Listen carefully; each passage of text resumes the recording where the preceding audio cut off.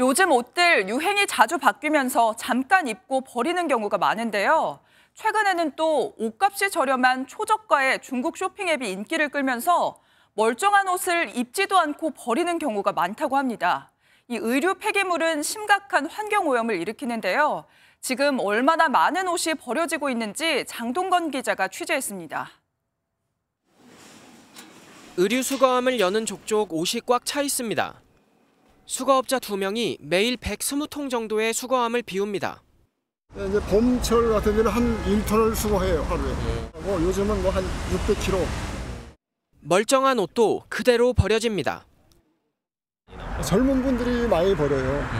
또 지금 입으시는 양복 같은 것도 어, 여름 양복 사서 입고 가을이면 버, 버립니다.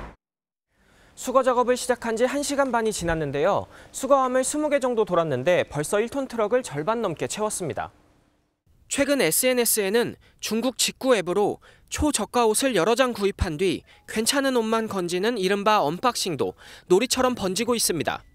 7만 원 정도 여러 장 사면 한 20장 정도? 실패를 해도 부담이 확실히 적은 것 같아요. 지인들한테 나눠주거나 가격이 싸서 그냥 버리는 2022년 전국에서 집계된 폐의류는 약 10만 6천 톤. 하루 평균 300톤이 버려지는 셈입니다.